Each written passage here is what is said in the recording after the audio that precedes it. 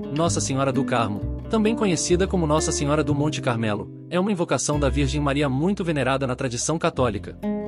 A devoção a Nossa Senhora do Carmo tem uma ligação profunda com a Ordem dos Carmelitas, uma ordem religiosa que surgiu no Monte Carmelo, na Terra Santa, no século XII. Nessa época, um grupo de eremitas, inspirado pelo profeta Elias, estabeleceu-se no Monte Carmelo em busca de uma vida de contemplação e oração, esses eremitas formaram a Ordem dos Carmelitas e construíram uma capela dedicada à Virgem Maria, que passou a ser conhecida como Nossa Senhora do Carmo, padroeira da Ordem. Um dos eventos mais marcantes na história dessa devoção é a visão de São Simão Stock, um carmelita inglês do século XIII. Em 16 de julho de 1251, São Simão Stock teria recebido uma visão da Virgem Maria, que lhe entregou um escapulário, uma peça de tecido marrom com a imagem de Nossa Senhora do Carmo. Segundo a tradição, a Virgem Maria prometeu proteção especial e salvação eterna a todos que usassem o escapulário com devoção.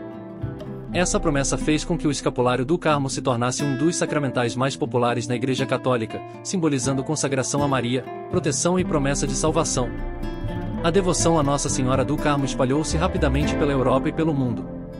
A festa em sua honra é celebrada em 16 de julho, dia da aparição a São Simão Stock, com missas, procissões, novenas e outras manifestações de fé.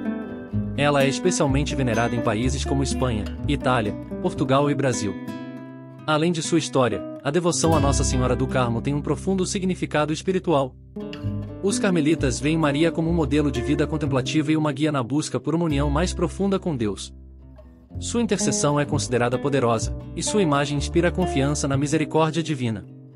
A devoção ao escapulário e à Virgem do Carmo continua a inspirar e consolar milhões de fiéis ao redor do mundo, mantendo viva a tradição de oração e devoção que começou há muitos séculos no Monte Carmelo.